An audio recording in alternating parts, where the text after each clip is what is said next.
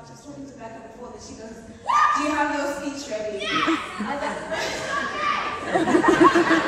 and I was like, Listen, sis, I'm not expecting anything. But guys, thank you so, so much. I'm thanking God again. It's just another opportunity to publicly thank Him for everything He's doing in my life. And to just be a testimony for everything God has promised. And also just to also stand here and be someone who's young. I don't know if I classify myself as young because, you know, Trying to dress like a lady. You know, you saw me in a suit last year, so I was like, I'm going to cover the dress this time. But I'm just so thankful that even in my age, God is doing incredible things and I can be a role model to those who do want to strive to pursue the gospel, to pursue those who don't know God, to pursue the unbelievers, and to do it all for the sake of the expansion of His kingdom. So, Come on. Let's go.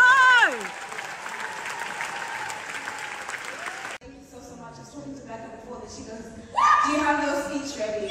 I'm not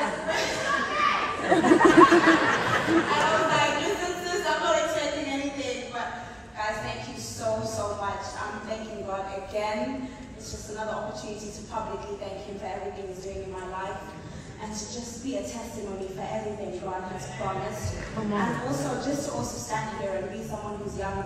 I don't know if I classify myself as young because, you know, I'm trying to dress like a lady. You know, you saw me in a suit last year, so I was like, I'm going to cover the dress this time. But I'm just so thankful that even in my age, God is doing incredible things and I can be a role model to those who do want to strive to pursue the gospel, to pursue those who don't know God, to pursue the unbelievers, and to do it all for the sake of the expansion of His kingdom. So, Come on.